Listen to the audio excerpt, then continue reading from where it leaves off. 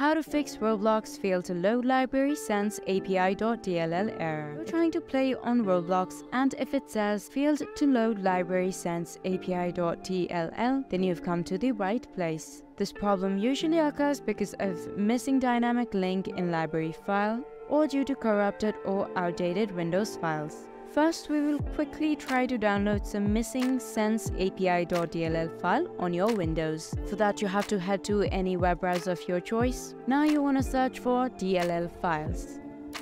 This is the website that you want to head to. Now in the search bar, you want to navigate for sense API.dll.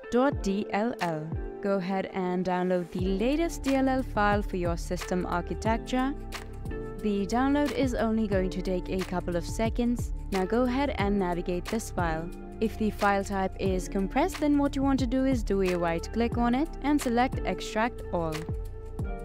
That is going to allow you to preview this file. You want to go to SensApi.dll and drag it to your desktop. Once that is done, head to your file explorer.